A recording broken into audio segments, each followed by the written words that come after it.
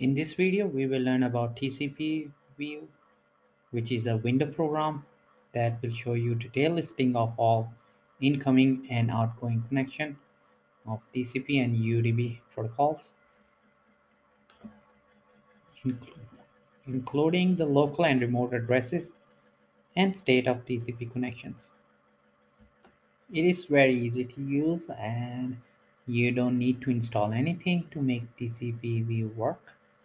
It is a standalone executable, making it extremely easy to use.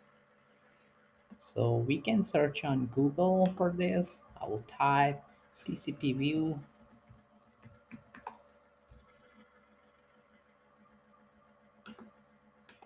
And from Microsoft side, we can go to this link.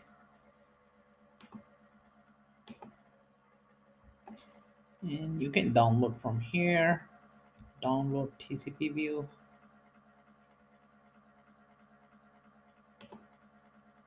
And we can go to the downloaded folder.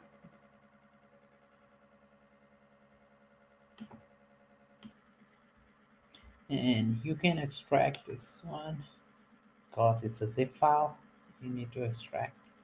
You can just right click on it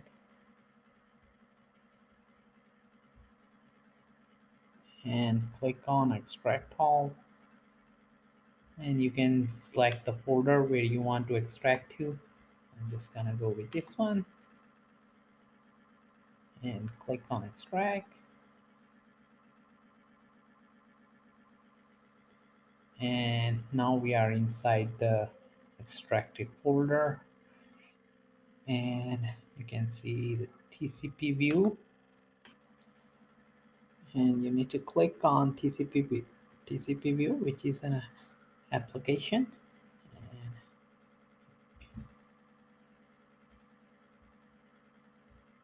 And, you need to click yes.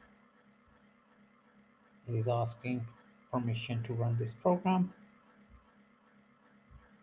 And you need to agree. And this TCP view is started.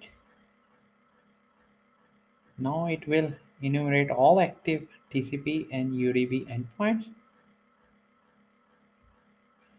You can see the local hosts and the remote addresses and their state, listening, established, and so on. And you can also see the remote port and connection to the remote port or the local port. Sometimes it happens that you are running one service and it is using some port and you want to install or start another service which may conflict with the already open port. So you can also check which ports are open on your local machine.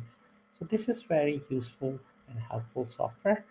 And you can also check which uh, incoming connections are and outgoing connections are and it also help you identify unexpected TCP communications such as those on a system infected with a malware or Trojan virus. You can see if they are making outgoing connection to some uh, website or some other IP address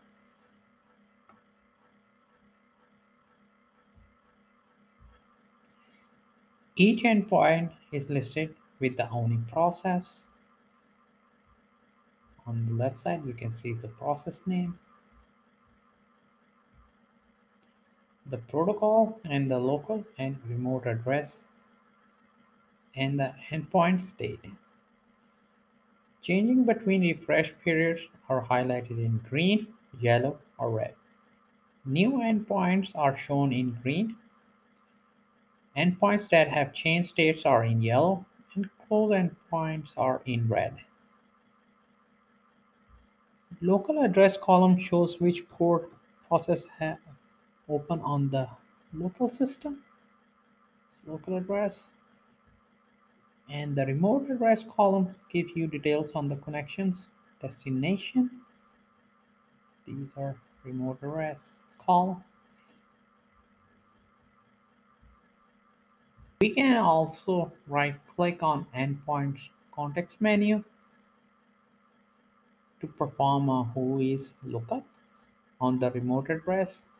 For example, I will go over here and just right click on it and click on whois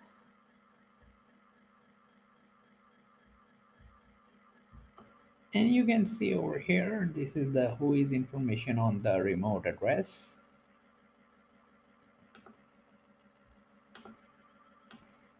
So this is very useful program for your network connections on your system.